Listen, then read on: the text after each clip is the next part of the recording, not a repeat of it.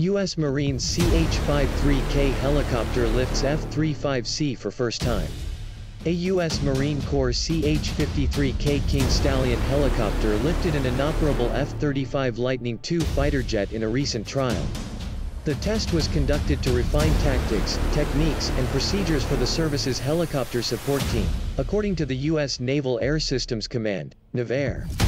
The lift was meant to evaluate the load and inform future lift capabilities of the chopper.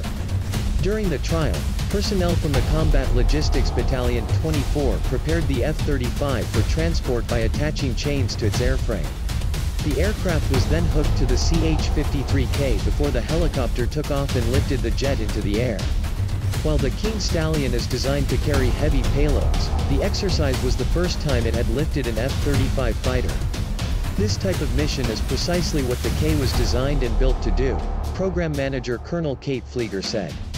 It continues to prove its value in support of Marine Corps operations, transporting equipment that no other rotary wing platform can lift most powerful helicopter as a replacement for the CH-53E Super Stallion.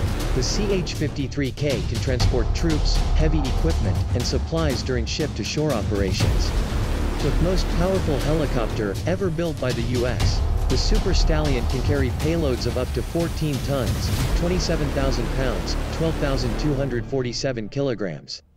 The F-35C aircraft that the helicopter recently lifted weighed 22,000 pounds, 9,979 kilograms, without its propulsion system.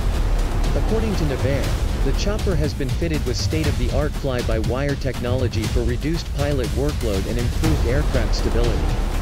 The first CH-53K King Stallion was delivered to the U.S. Marine Corps in 2018, and the service plans to acquire 200 more in coming years.